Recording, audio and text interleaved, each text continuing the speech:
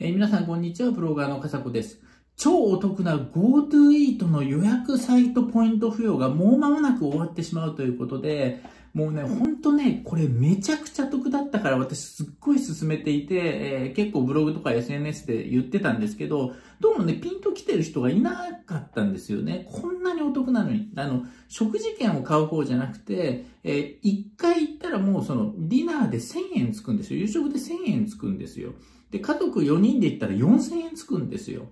まあ、で、1000円以下でね、あの、やっちゃダメだよっていうその連金はできなくなりましたけれども、例えば、1人1000円で食べれば、もう初めの1000円食べれば、もう毎日タダで食べれるってことになる。こんね、得なものはないって言って、だから皆さんもうこれ毎日 GoTo イート使った方がいいですよぐらいのことを言ってたんですけど、でもやっぱりもうね、このお得さ加減に気づかれてしまったのか、もうあっという間に、えこの予約サイト経由の、えポイント付与はなくなってしまう、あの、終わりになってしまうということです。これあの GoTo イートに限らず、まあ GoTo トラベルなんかでもそうですけれども、お得な制度、こんなめちゃくちゃお得なのがあったら、もう本当ね、もう徹底的に早めに使った方がいいです。こんだけ得になるものってなかなかないと思うので、まあ、GoTo トラベルは結構予算があるとは思う、あの、予算があるみたいですけれども、